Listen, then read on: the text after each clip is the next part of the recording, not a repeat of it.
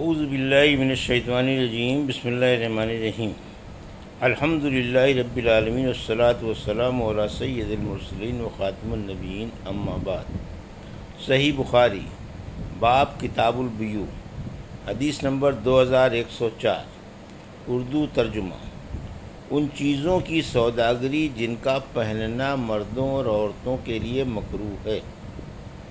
हमसे आदम बिन नबी अयास ने बयान किया, कहा कि हमसे शोबा ने बयान किया, उनसे अबू बकर बिन हफ्स ने बयान किया, उनसे सालिम बिन अब्दुल्ला बिन उमर रज़ी अल्लाह ने बयान किया। उनसे उनके बाप ने बयान किया कि नबी करीम सल्लल्लाहु अलैहि वसल्लम ने उमर रज़ी के यहाँ एक रेशमी जुब्बा भेजा। फिर आपने देखा कि हज़रत उमर रज़ी उसे एक दिन पहने हुए है। तो आप ने फरमाया, मैंने इस इसे तुम्हारे पास इसलिए नहीं भेजा था कि तुम उसे पहन लो। उसे तो वही लोग पहने, पहनते हैं जिनका आखिरत में कोई हिस्सा नहीं है।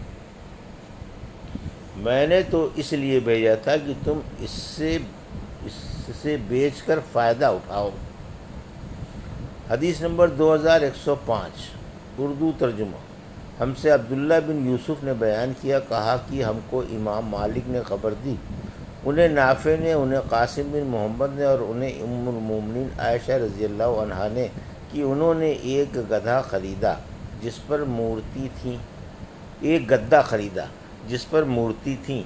रसूल करीम वसल्लम की नज़र यूँ ही उस पर पड़ी। आप वसल्लम दरवाज़े पर ही खड़े हो गए और अंदर दाखिल नहीं हुए।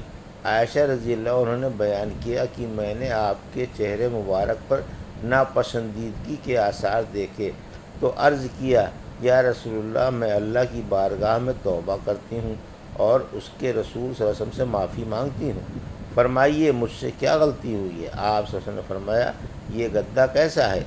मैंने कहा कि मैंने ये आप ही के लिए ख़रीदा है, ताकि आप इस पर बैठें और उससे टेक लगाएँ। आप वसम ने फरमाया, लेकिन इस तरह की मूर्ति बनाने वाले लोग क़यामत के दिन अजाब किए जाएँगे और उनसे कहा जाएगा कि तुम लोगों ने जिस चीज़ को बनाया, उसे ज़िंदा कर कर दिखाओ। आपने ये भी फरमाया कि जिन घरों में मूर्ति होती हैं, रहमत के फरिश्ते उनमें दाखिल नहीं होते। हदीस नंबर 2106 उर्दू तर्जुमा। सामान के मालिक को कीमत कहने का ज़्यादा हक़ है। हमसे मूसा बिन इस्माइल ने बयान किया, कहा कि हमसे अब्दुल वारिस ने, उनसे अबू तयाह ने और उनसे अनस रज़ी ने बयान किया कि नबी करीम वसल्लम ने फरमाया ए बनु नजार, अपने बाग की कीमत मुकर कर दो। आप वसल्लम उस जगह को मस्जिद के लिए ख़रीदना चाहते थे। उस बाग में कुछ हिस्सा तो वीराना और कुछ हिस्से में खजूर के दरख्त थे। हदीस नंबर 2107 उर्दू तर्जुमा, कब तक बै तोड़ने का अख्तियार रहता है, इसका बयान।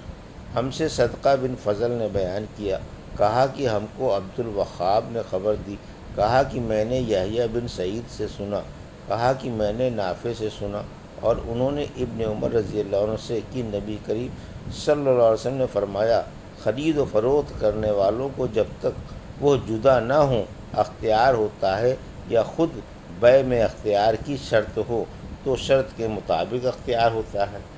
नाफे ने कहा कि जब अब्दुल्ला बिन उमर रज़ी कोई ऐसी चीज़ ख़रीदते तो जो उन्हें पसंद होती तो अपने मामला दार से जुदा हो जाते। हदीस नंबर 2108 उर्दू तर्जुमा। हमसे हफ्स बिन उमर ने बयान किया, कहा कि हमसे हमाम ने बयान किया। उनसे कतादा ने, उनसे अबुल खलील ने, उनसे अब्दुल्ला बिन हारिस ने और उनसे हकीम बिन हज़ाम रज़ी अल्लाह उन्होंने कि रसूल करीम वसल्लम ने फरमाया, बेचने और ख़रीदने वालों को जब तक वो जुदा ना हो, मामले को बाकी रखने या तोड़ने, तोड़ देने का अख्तियार होता है। अहमद ने ज़्यादती की कि हम से बहज हमसे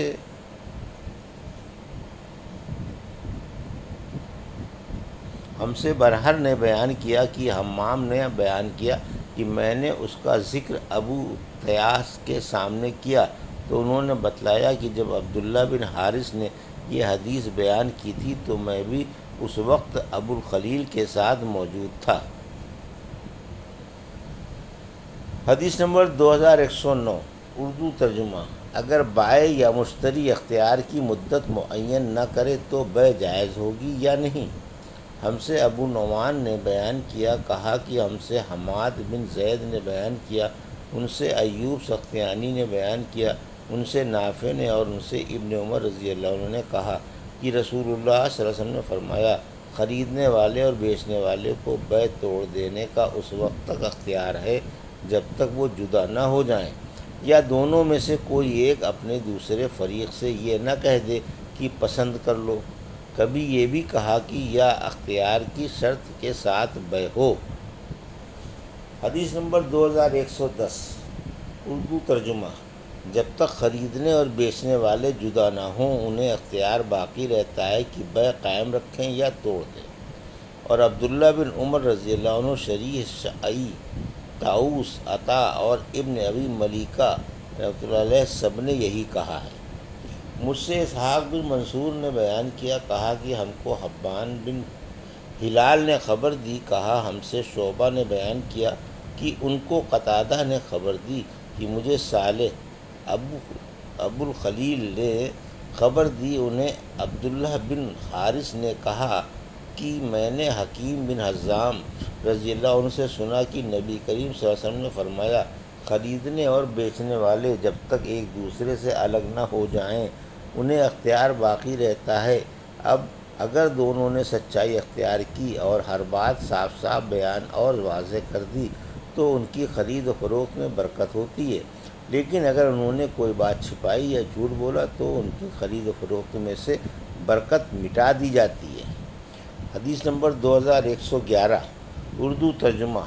हमसे अब्दुल्ला बिन यूसुफ ने बयान किया, कहा कि हमको इमाम मालिक ने खबर दी उन्हें नाफे ने और उन्हें अब्दुल्ला बिन उमर रज़ी अल्लाह ने कि रसूलुल्लाह सल्लल्लाहु अलैहि ने फरमाया, ख़रीदने और बेचने वाले दोनों को उस वक्त तक अख्तियार होता है जब तक वो एक दूसरे से जुदा न हों। मगर बे ख्यार में। हदीस नंबर 2112 उर्दू तर्जुमा। अगर बै के बाद दोनों ने एक दूसरे को पसंद कर लेने के लिए मुख्तार बनाया तो बै लाजिम होगी। हमसे कनीबा ने बयान किया, कहा कि हमसे लेस ने बयान किया। उनसे नाफे ने और उनसे इब्न उमर रज़ी अल्लाह उन्होंने की रसूलुल्लाह सल्लल्लाहु अलैहि वसल्लम ने फरमाया, जब दो शख्सों ने ख़रीद फरोख्त की तो जब तक वो दोनों जुदा ना हो जाएँ, उन्हें बै को तोड़ देने का अख्तियार बाकी रहता है। ये उस सूरत में कि दोनों एक ही जगह रहें। लेकिन अगर एक ने दूसरे को पसंद करने के लिए कहा और इस शर्त पर बै हुई और दोनों ने बै का कतई फ़ैसला कर लिया तो बै उसी वक्त मनक़द हो जाएगी। इसी तरह अगर दोनों फरीक बै के बाद एक दूसरे से जुदा हो गए और बै से किसी फरीक ने भी इनकार नहीं किया तो भी बै लाजिम हो जाती है।